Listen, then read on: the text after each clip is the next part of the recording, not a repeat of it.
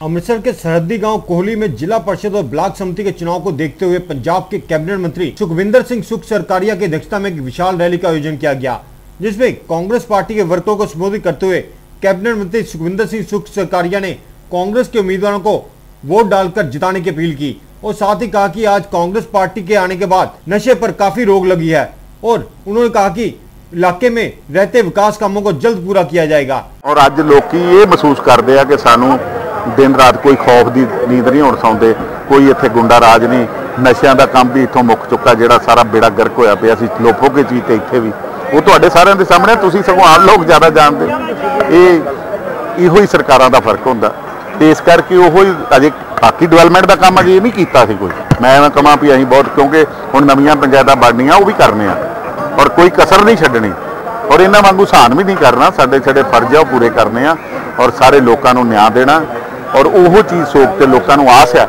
ਔਰ ਮੇਰੇ ਤੋਂ ਆਸ ਵੀ ਰੱਖਦੇ ਆ ਇਸੇ ਕਰਕੇ ਅੱਜ ਇਸ ਤਰ੍ਹਾਂ ਜਨਤਾ ਆਈ ਆ।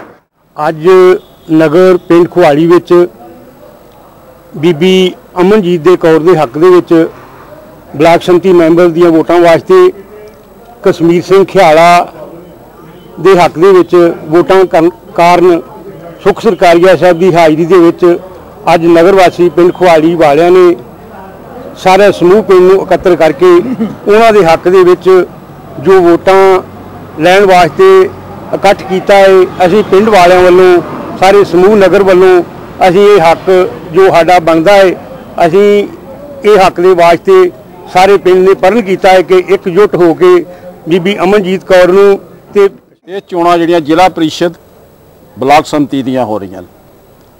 ਇਹ ਜ਼ਿਲ੍ਹਾ ਪ੍ਰੀਸ਼ਦ ਤੇ ਬਲਾਕ ਸੰਮਤੀ ਦੀਆਂ ਚੋਣਾਂ ਦੇ ਵਿੱਚ ਮੌਜੂਦਾ ਕਾਂਗਰਸ ਪਾਰਟੀ, ਇਹਨੂੰ ਹਰ ਹੀਲੇ ਵਸੀਲੇ, ਇਹਨੂੰ ਚੰਗੇ ਸੁਚੱਜੇ ਢੰਗ ਦੇ ਨਾਲ, ਲੋਕਤੰਤਰੀ ਢੰਗ ਦੇ ਨਾਲ ਲੋਕਾਂ ਦੇ ਵੋਟਾਂ ਲੈ ਕੇ ਇਹਨੂੰ ਸੁਚੱਜੇ ਢੰਗ ਦੇ ਨਾਲ ਲੋਕਾਂ ਦੀ ਚੁਣੀ ਹੋਈ ਸਰਕਾਰ ਬਣਾਉਣਗੇ।